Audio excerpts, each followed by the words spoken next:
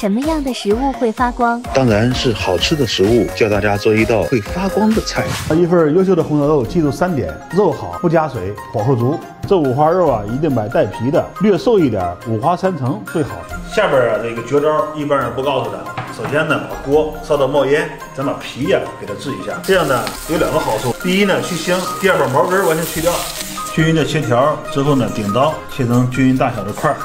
一定记住凉水下锅，来料酒去腥。开锅之后啊，咱把血沫给它撇掉，过凉。一勺的水，少许的色拉油，加入冰糖。汤和水的比例啊是一比一。开火首先啊，给冰糖化开，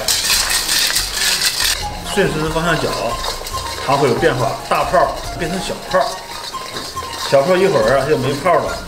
哎，咱用的是嫩糖色。所以呢，这个颜色呢不是特别重。现在呀，你看颜色已经差不多了。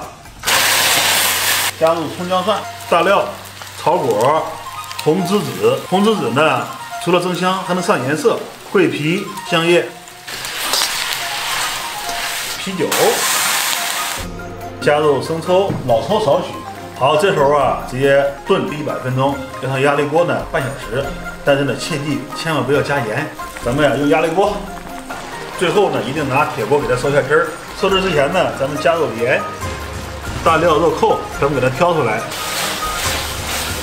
肉好汁儿好还养颜，红烧肉咱烧的是生活。快手光合创作者大会四月二十二日至二十三日将在广州举办，来这里感受不一样的光芒，拥抱每个独特的你。